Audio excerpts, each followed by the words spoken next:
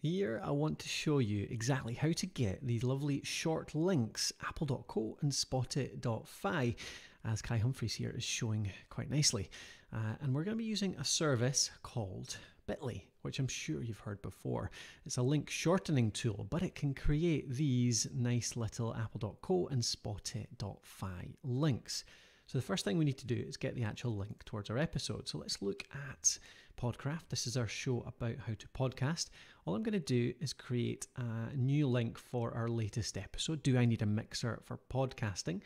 This is in the iTunes app. On the right, get link. So copy link from the right here. That gets us the official link for that episode. Then I'm going to go back over to Bitly what we're going to do is find the paste the link to shorten it and all we do is paste in that link and you can see that it turns it right into an apple.co link. I can now copy that and I can put it anywhere I like, whether it's Twitter, Instagram, wherever I want. Similar for Spotify as well. In Spotify, all you do is find your podcast.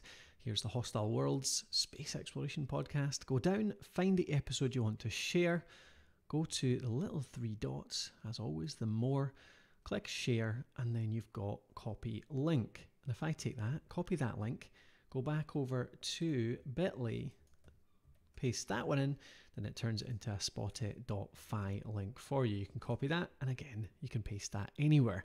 So I hope that helps you create really useful little short links that'll help you with your podcasting. Make sure you can try and grow that audience, get as many people over to watch and listen to your podcast as you can.